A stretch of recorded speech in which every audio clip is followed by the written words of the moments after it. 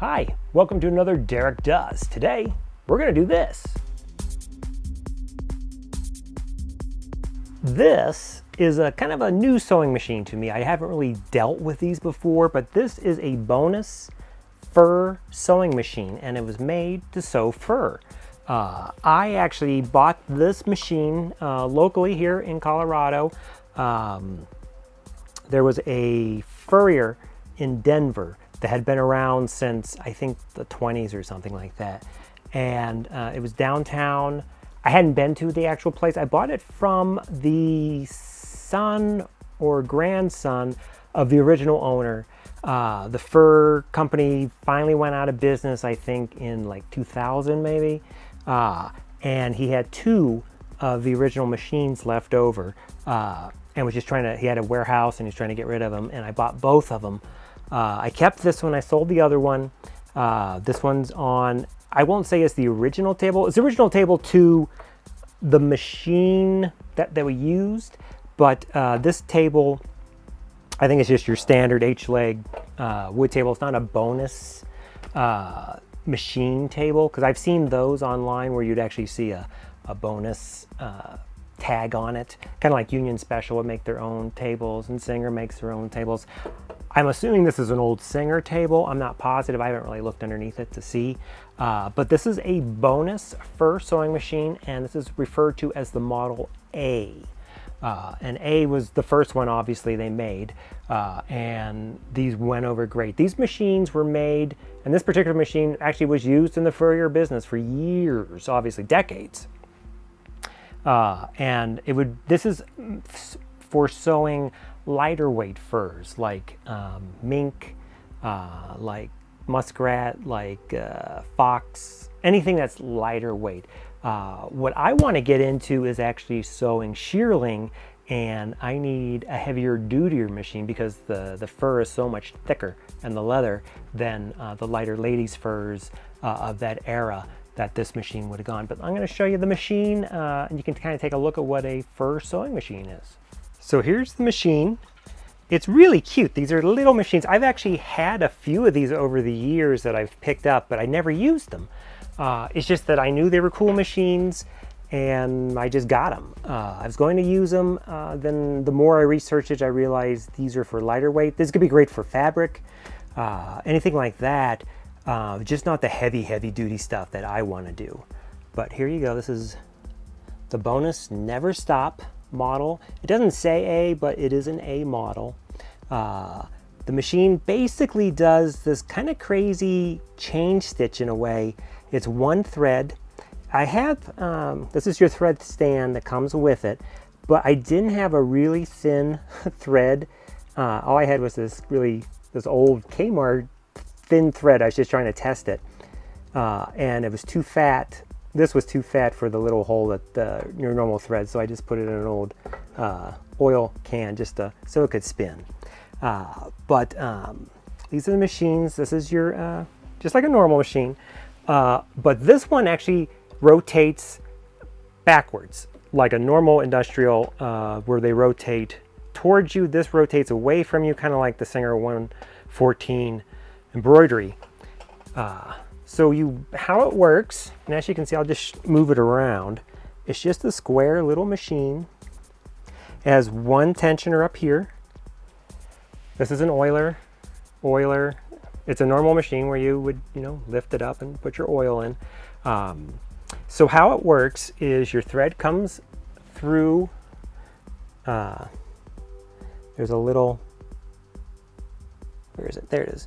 So there's a little eyelet thingy there, or a pigtaily eyelet. It goes over the tensioner, comes back down through another little pigtail, comes through.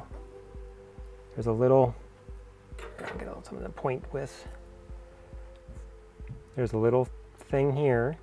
It goes through a little hole, goes around this little spring, which, or it's actually, it's a screw, but it has a little bit of a spring has a little bit of a spring to it. Then it goes through under here, around this side, comes back through, and then goes through a little kind of a slot hole there and then threads up underneath the needle. So I'm going to show you what you do. So when you push down on your pedal, it actually opens the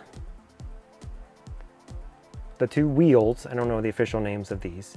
Um, and so what happens also on the different machines, you can get different wheels for the fur you're sewing. So this is a real fine wheel. See that? But uh, a thicker fur, you would have it, would be a little bit, the, the actual gears would be a little thicker. Uh, wouldn't be this fine. Now the way to change your stitch length is through this. You unscrew it and you move it back and forth. It's not really gauged.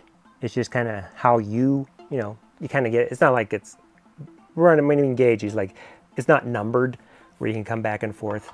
Uh, but here's your, your thread. It has the tiniest needle. Uh, there it is. Now these needles are very delicate uh, and you can see when it sews, it moves up, this little wee hand thing comes here. It moves, catches the thread. And I'll show you a little bit of sewing. I got it working.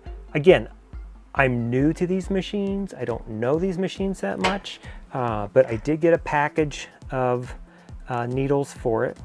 Uh, and this particular one, they come very small. It's these 292 is the subclass, I guess, of needles for this. And this says A. So this is for the A machine. These won't work in the, the machines that were made after that. So, uh, and now also this, this table, since it was made for furriers, they put this little device on here that has, uh, it's a little measuring, instead of the, the classic ruler that's usually or uh, nailed to the front, they actually made this little thing that pulls out. So I guess you can put your pieces on there. Uh, again, I'm not a furrier, so I don't know if this is normal or if that's just kind of how it is. Uh, the table's kind of neat. It's got a couple features. You can see they were a smoker. Uh, whenever you see an old table like this that has this, and I've seen it much, much worse than this. Uh, so what would happen is the uh, operator, you know, they'd have their cigarette, they set it down here, they'd work, and then they come back and get their cigarette. So as it's sitting here, it slowly burns. So I've seen them where it was, uh, there's a couple tables I've had that uh, it's like, it looks like a leopard pattern. It's just, it's crazy all the way around. So I'm gonna uh, put, uh, get back on the tripod and I'm going to show you some sewing. Okay, we're gonna try this. I know I've got the, this thing isn't set properly, but you'd put your two pieces of fur in there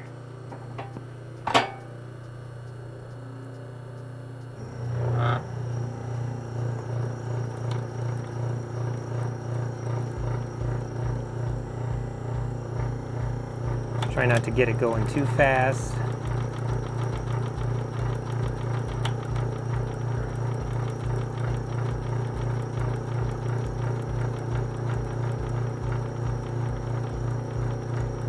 Because once you get this just right, it'll be great. But right now, it's not just right. So,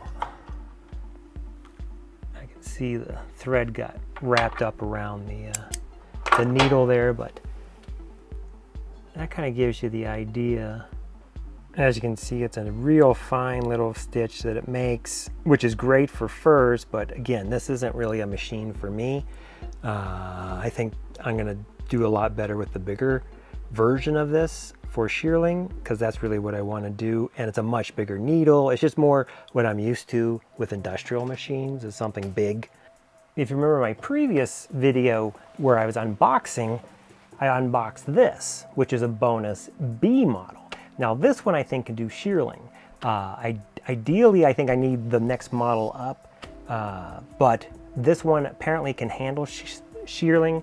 Uh, it's very similar. If you look, the two of them are very, very similar. Uh, the, just visually, I think the discs are a little bit bulkier maybe uh, between the two of them. But I think the inside guts are what really does it of it being able to uh, push and handle heavier work. Um, the thing is I don't have the B needles. Uh, they're very kind of difficult to find without having to buy a hundred of them, and I don't really want to buy a hundred of them because uh, I don't think I need a hundred of them, but who knows, maybe I do by the time I start breaking them. But um, this is the Bonis B, uh, which is really, really similar to the Bonis A. Uh, so what I'll probably do is I'll just sell this one and I believe the base plate is about the same. It'll drop right on there and I'll be good to go on this table. Although I may put a servo on this because that clutch motor's a bit more than I need uh, for speed and being able to, uh, especially learning how to do it. I don't want to hurt anything and ruin anything. One cool thing on the uh, A machine, since it's the old style, is the oil reserve. Uh, I'll show you that. So under here, uh, again, I don't think these pedals are Bonis. They're just generic pedals because they don't, I guess they kind of match each other. Uh, but this is, it's a little beehive uh, thing of glass for the oil instead of, uh, it's just, it's kind of a nice feature. And I believe that's original to these vintage Bonis machines. So there you have it. The Bonis A sewing machine and the Bonis B sewing machine. Uh, not that clever with the names, but you know what you have. Because um, again, they didn't make a billion machines like Singer of all different stuff. They, they, they, probably have maybe 20 different versions of these and for different applications. Um, the company is still in business, uh, although I don't think they make new machines. Uh, the Bonis company in New York, though, uh, they refurbish machines. Um, and you can buy, although maybe you can buy new machines, I'm not positive. Uh, but um, you can definitely uh, buy refurbished machines that they pick up and then uh, get it all back to normal. And you can get all the parts there too, which is really nice because they probably have all the same machinery to make everything. Uh, again, there's not that much to the machines, so um, and they're all kind of the same in a way. So uh, it's kind of like Merrow.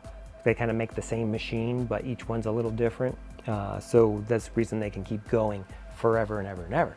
Um, so there you go. Uh, it's a fur machine. If you don't have one and it's something you want to get into, uh, these A machines, you can pick them up uh, for you know, the $500 range in that range, uh, maybe a little bit more. The B machines are more, they're more like in the seven to nine range probably. And then you go to the next level of the, uh, the bigger boys and they're in like in the 1200s uh, and up. Uh, so uh, if you can find one, and of course, this isn't exclusive to Bonis. Um, there were a lot of companies that made this type of machine. Uh, None of them I think are in business, uh, but I do think some of the Chinese brands make a version of this that you can buy if you wanted that, but I wouldn't suggest that. Uh, but you can if that's something you want to do. I like the vintage stuff. Uh, I didn't go with some of the other vintage ones that I've seen popped up because I just know I can't get parts for them.